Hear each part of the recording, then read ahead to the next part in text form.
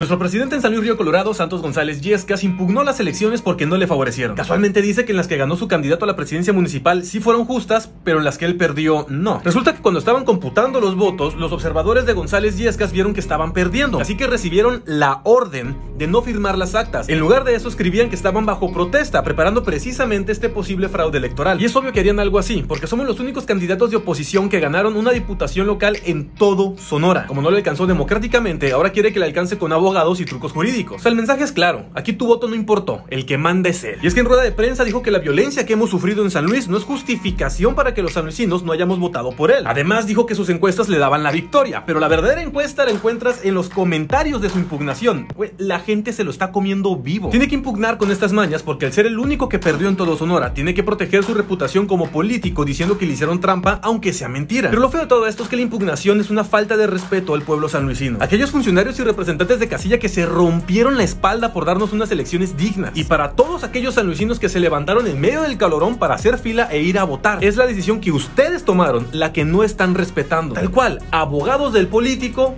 contra el voto del pueblo el 2 de junio. Pero no se preocupen, ¿eh? las elecciones fueron limpias y hermosas. Ustedes votaron por un cambio y la voluntad del pueblo se respeta o la haremos respetar. Porque yo les prometí que siempre que luchen conmigo yo haré que valga la pena. Ustedes lucharon el 2 de junio y aquí estamos haciendo que valga.